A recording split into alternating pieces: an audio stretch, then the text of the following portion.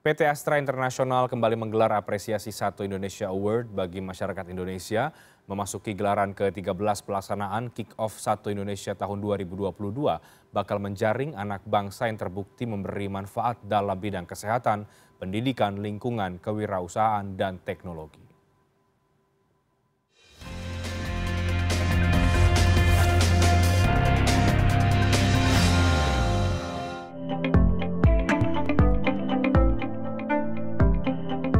PT Astra International kembali menggelar apresiasi Satu Indonesia Award ke-13 tahun 2022. Dalam kick-off yang digelar secara virtual Rabu siang, Astra tetap berkomitmen untuk menjadi milik yang bermanfaat bagi bangsa dan negara. Selain mengembangkan bisnis, Astra memberi apresiasi bagi anak bangsa yang telah bekerja keras tanpa pamrih dan memberi manfaat bagi lingkungan serta masyarakat. Dan tanpa terasa tahun ini juga merupakan tahun yang ke-13 pelaksanaan Satu Indonesia Awards. Per tahun 2021 yang lalu, Astra telah mengapresiasi ada 493 anak muda di seluruh Indonesia yang terdiri dari 81 penerima penghargaan tingkat nasional dan ada 412 penerima penghargaan tingkat provinsi di lima bidang yang dari awal sudah ditetapkan untuk penghargaan ini adalah bidang kesehatan, bidang pendidikan, bidang lingkungan, kewirausahaan, dan teknologi. Beberapa dari penerima apresiasi tersebut saat ini telah berkolaborasi bersama dengan Astra eh, di 133 kampung berseri Astra dan 930 desa sejahtera Astra di 34 provinsi di seluruh Indonesia. Salah satu penerima penghargaan tahun 2021 kategori pendidikan adalah Ahmad Irfandi. Dengan inovasi kampung lali gadget yang berlokasi di Sidoarjo, Jawa Timur ini dinilai berhasil mengurangi kecanduan gawai pada anak-anak di daerah lingkungan tempat tinggalnya. Jadi manusia itu harus bisa mengimbangi teknologi. Caranya bagaimana? Ya caranya dengan upaya-upaya mendekatkan diri kepada hal-hal yang non teknologi misalnya kepada alam, kepada sosial masyarakat, kepada kalau anak-anak lebih mudahnya itu kepada permainan. Nah, permainan yang cocok itu adalah permainan tradisional.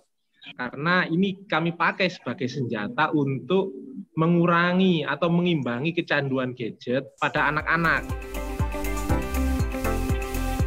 Siti Salama, penerima apresiasi Satu Indonesia Award tahun 2021 kategori kelompok mengatakan, Dirinya merintis Waste Solution Hub berupa sistem pengelolaan sampah terintegrasi dari produsen hingga bank sampah dan membantu kemandirian sosial para pemulung di daerahnya.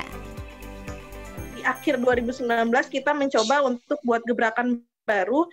Itu mengkolaborasi dengan masjid-masjid untuk membuat uh, kegiatan namanya sedekah sampah. Dan di situ kita mempekerjakan para pemulung. Dan para pemulung kita dibayar profesional kita terus mencoba uh, selama masa pandemi ini uh, untuk terus me, apa ya memberikan edukasi, informasi terkait pemilahan sampah dan kenapa sih kita harus memilah sampah. Penerima apresiasi kategori khusus pejuang tanpa pamrih di masa pandemi tahun 2021, Muhammad Zidni Kafa mengatakan, Dirinya bersama warga Panggung Harjo Bantul Yogyakarta memulai gerakan panggung tanggap COVID-19 dengan cara membuat mitigasi pandemi melalui formulir daring. Kita merespon COVID ini tidak serta-merta hanya rutinitas kita untuk apa penanggulangan secara klinis begitu ya Mas. Hmm. Tapi aspek-aspek lain itu memang perlu kita perhatikan begitu ya, terutama aspek-aspek sosial. Bagaimana pola relasi antara masyarakat itu kan dipora-porandakan akibat Covid ini. Nah, oleh karenanya kita memang sejak tahun 2020 itu di Desa Pangwarjo kita mengadakan beberapa forum gitu ya untuk bagaimana kita merumuskan tatanan baru Indonesia dari desa begitu ya. Masyarakat berusia maksimal 35 tahun, baik individu maupun kelompok, dapat berpartisipasi dalam ajang apresiasi Satu Indonesia Award tahun 2022 ini. Pendaftaran dilakukan secara daring melalui www.satuindonesia.com dari 9 Maret hingga 9 Agustus tahun 2022. Semangat bergerak dan tumbuh bersama!